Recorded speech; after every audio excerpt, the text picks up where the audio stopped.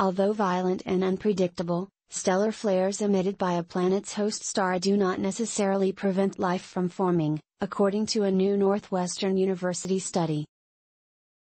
Emitted by stars, stellar flares are sudden flashes of magnetic imagery.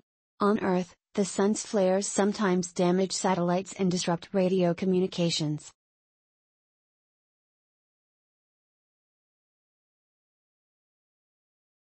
Elsewhere in the universe, robust stellar flares also have the ability to deplete and destroy atmospheric gases, such as ozone. Without the ozone, harmful levels of ultraviolet, UV, radiation can penetrate a planet's atmosphere, thereby diminishing its chances of harboring surface life.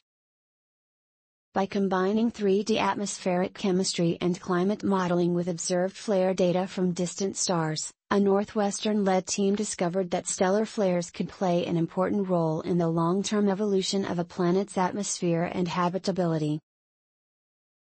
We compared the atmospheric chemistry of planets experiencing frequent flares with planets experiencing no flares.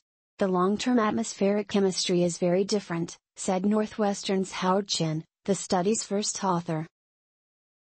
It is a joint effort among researchers at Northwestern, University of Colorado at Boulder, University of Chicago, Massachusetts Institute of Technology and NASA Nexus for Exoplanet System Science, NExSS. Horton is an assistant professor of Earth and Planetary Sciences in Northwestern's Weinberg College of Arts and Sciences.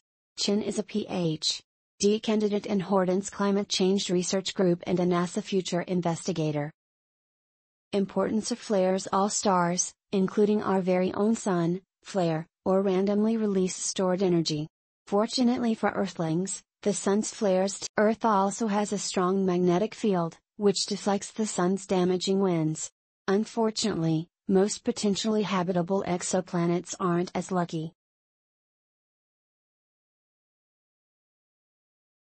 For planets to potentially harbor life, they must be close enough to a star that their water won't freeze, but not so close that water vaporizes.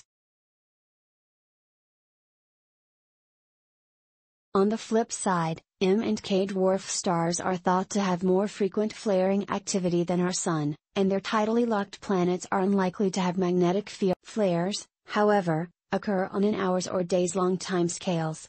Although these brief timescales can be difficult to simulate, Incorporating the effects of flares is important to forming a more complete picture of exoplanet atmospheres.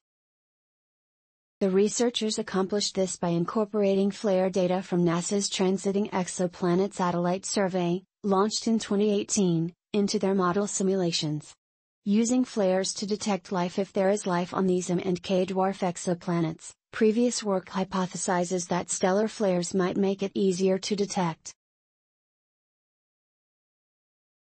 For example, stellar flares can increase the abundance of life indicating gases, such as nitrogen dioxide, nitrous oxide and nitric acid, from imperceptible to detectable levels.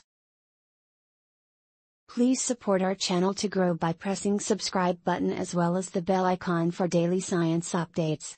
Thank you.